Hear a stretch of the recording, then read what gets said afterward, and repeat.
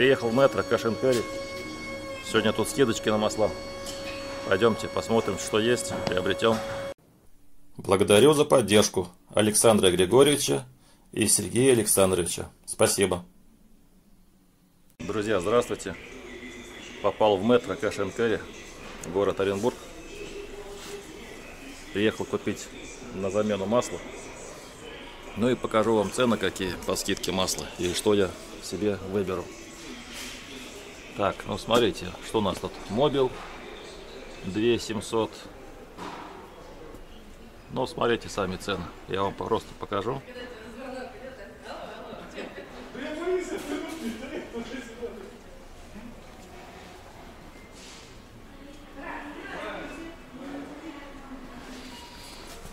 Шел в зиму нулевочка 2000. Шел в зиму пятерочка 1400.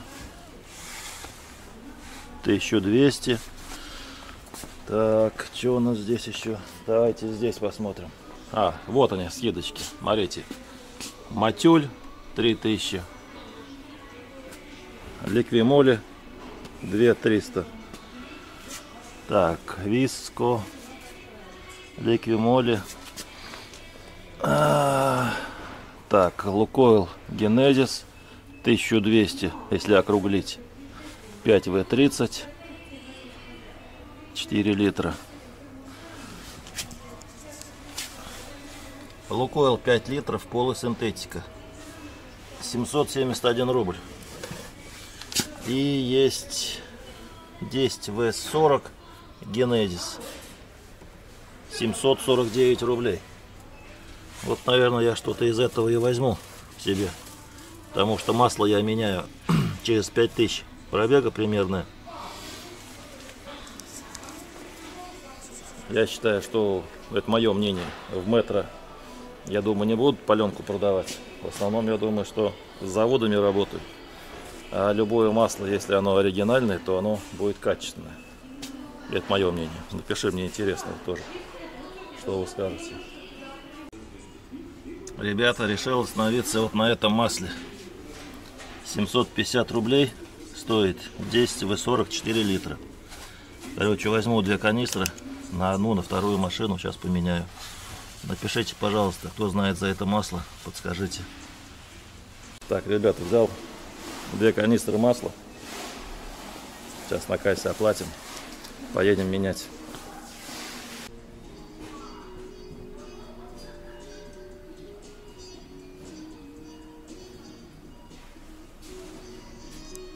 Так, ребят, смотрите, за две канистры масла полторы тысячи, 1498. За две канистры 749 умножаем на 2. Так, взял сертификат соответствия на это масло. То есть поставили печать, как бы должно быть все оригинальное. Ребят, заехал в сервис, сейчас масло заменим. Так, на масле, которое я заливал, проехал я 4,5 тысячи. Там была синтетика. Здесь у меня полусинтетику я залью. Через 4,5 тысячи у меня будет... Дим, какой? Второй или третий у меня будет того же, не помню? 20 тысяч. Э, на третье ТО приеду, там заменю. Ну да. Поэтому сейчас машину подняли на подъемник. Я могу сам масло заменить. Вы там, как говорится, не пишите мне, что я сам масло не могу заменить. Я могу. Но просто и машину заодно поднимем, посмотрим, что под нищу. И вам заодно с подъемника будет удобнее показать, как меняется масло. Внешний осмотр. На подъемнике машину подняли. Не всегда есть возможность машину поднять на подъемнике. Но у меня такая есть возможность. Поэтому я сам как бы я могу, но желательно, чтобы приехать. Это вот шаровая верхняя, которую я заменил, где пыльник был поровный. Так, что здесь у нас? Здесь вроде как бы все у нас путем.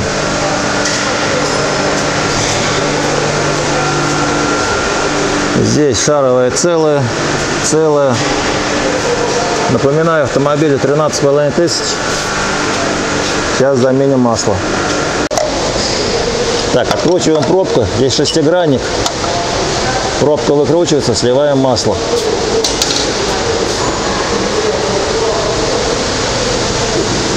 Шрусы. Да, масло я заберу в канистру. Хочу сделать тест. 5000 масло прошло и со свежим. По текучести хочу посмотреть. Как многие говорят, что после 5000 масло уже типа теряет свои свойства. А коляка может брызнуть? Понято. Так визуально, конечно. Ну, масло черное. Ну, ты ошибаешься, сейчас тебе покажу тест, что масло абсолютно чистое. Ну, То есть масло абсолютно чистое. да? Ну вот идет струей. Смотри, она может брызнуть, может чистый. Ну да, в принципе, так-то чистую. Ребят, здесь откручивается пыльник. Два саморезика. Три даже.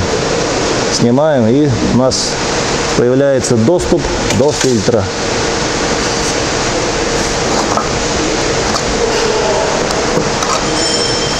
Так, снимается. Вот у нас масляный фильтр. Его будем откручивать Пользуемся специальным съемником, потому что иногда фильтр открутить, Здоровья не хватает. да, здоровья не хватает.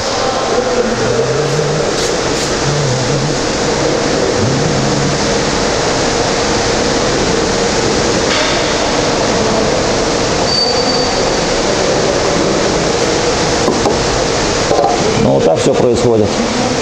Ребята, новый фильтр, когда ставите масло в него, заливать не нужно. Просто смазывается прокладочка и устанавливается.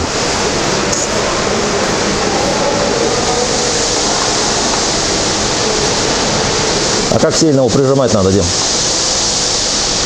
Ну, как и раньше писали на фильтрах, наоборот, после прикосновения резинки еще на одну треть оборота дотянуть. Просто бывает затянешь, а потом его не снимешь. Так, ну все, фильтр установили. Ну, как его подтягиваю. Не сильно так до конца. Нет. Это решил поменять масло, проехал примерно 500 километров. Смотрите, масло слили. Имеется стружка. Да, пудра такая определенная. И это уже не пудра, это прям стружка. Стружка уже прям, да? Прям крупная, как песок. Ну, масло поменяем, посмотрим, еще прокатнемся потом. Возвращаюсь к заводу АВТ, который производит дифференциалы повышенного трения. Объясните мне, почему такая стружка? Вот смотрите, установлен самоблок э, АВТшный 9 килограмм. Колесо крутится вперед, второе колесо тоже крутится вперед. На свободном дифференциале там все наоборот происходит. Одно колесо вперед, другое назад крутится. То есть, в принципе, самоблок как бы работает, да, Дим? Получается, да. Ну, потом опустим, попробуем на усилие одно колесо.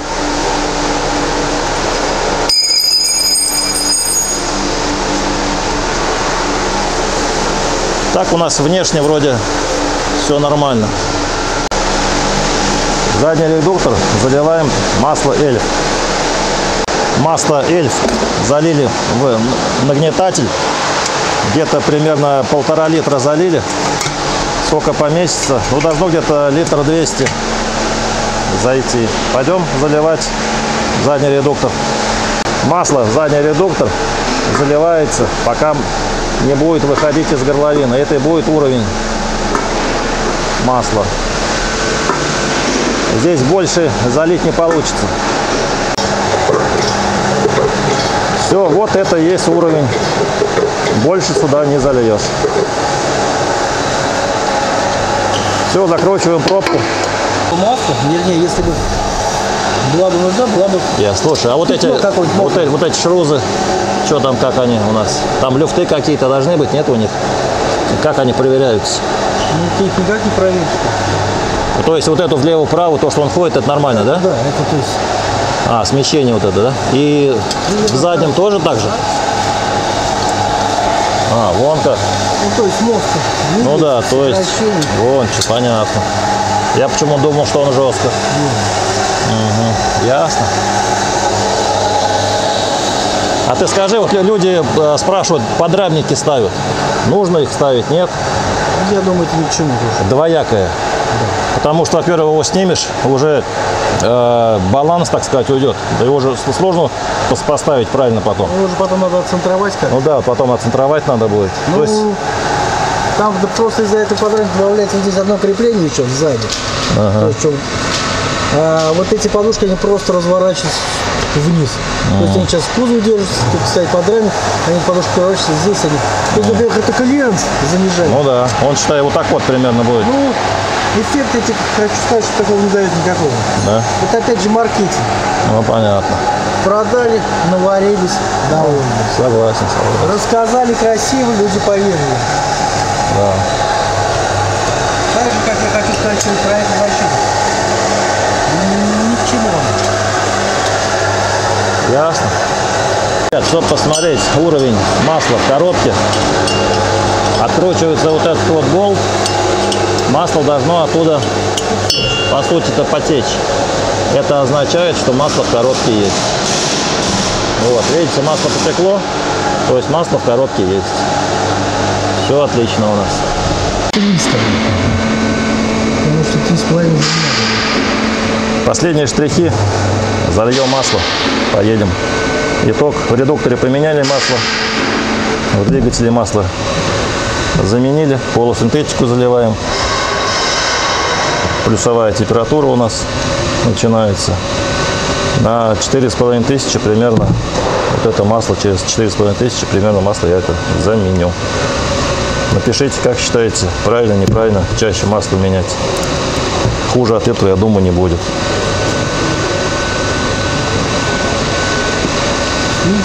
Ну вот, в принципе, и все, заканчивается. Помыл машину, заехал, посмотрели подвесочку. Напоминаю, все, сам могу это сделать, но мне удобнее здесь. Заехать, сделать осмотр автомобиля, посмотрели.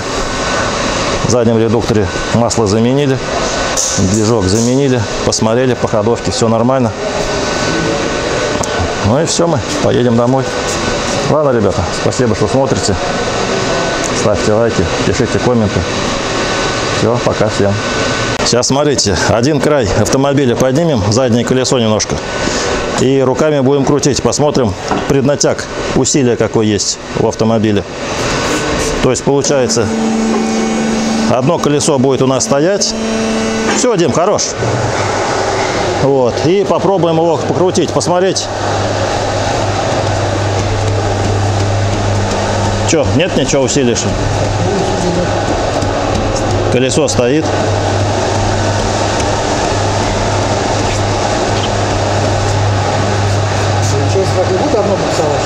Не знаю. Завод АВТ.